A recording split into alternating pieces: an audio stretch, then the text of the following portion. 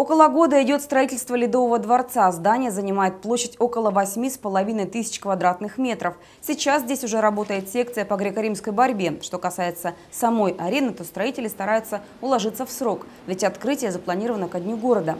На этой неделе на стройке появился еще один элемент благоустройства – фигура хоккеиста. Всего их будет две. На втором постаменте в скором будущем разместят фигуру борца.